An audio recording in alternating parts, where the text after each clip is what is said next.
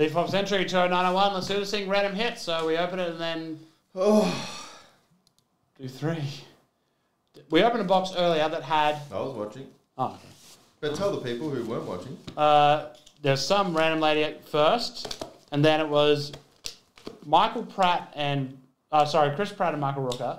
Then it was Hayley Atwell, and then it was someone Charlie Sheen.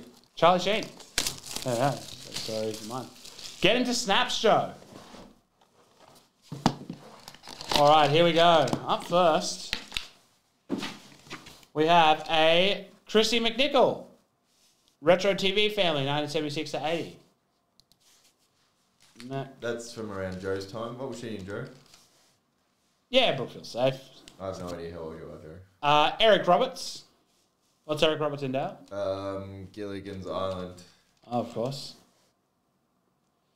Uh, oh, nice. David Arquette. Uh, former WCW champion. Um, That's he- not a joke. He was in Happy Days. He was also married to one of the Friends ladies. And Carmen Electra with the scary movie inscription.